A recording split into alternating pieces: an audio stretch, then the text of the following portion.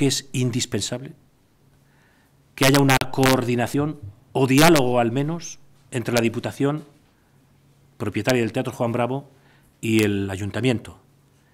Yo, por lo que veo, eh, debe ser bastante complejo y difícil, pero, pero habría que intentarlo. Habría que intentarlo porque es necesario que nos coordinemos todos. Todos los que nos dedicamos al teatro tenemos que coordinarnos. Esto no se trata de una competitividad, esto es un servicio público, ¿eh? de naturaleza cultural.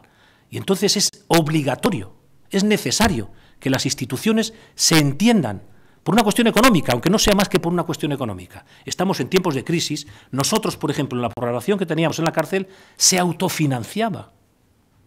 Para nosotros era muy importante llenar, para poder cubrir los gastos y poder pagar a los artistas.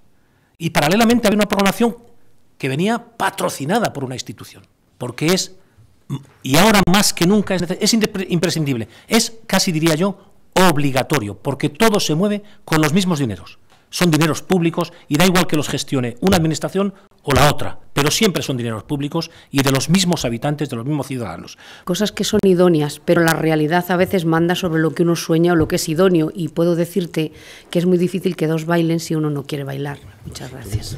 Pues es la primera noticia que tengo. Me alegra que usted me dé esa noticia, que hayan manifestado su predisposición a coordinarse, porque la última conversación que tuve con el alcalde es que no querían saber nada del teatro.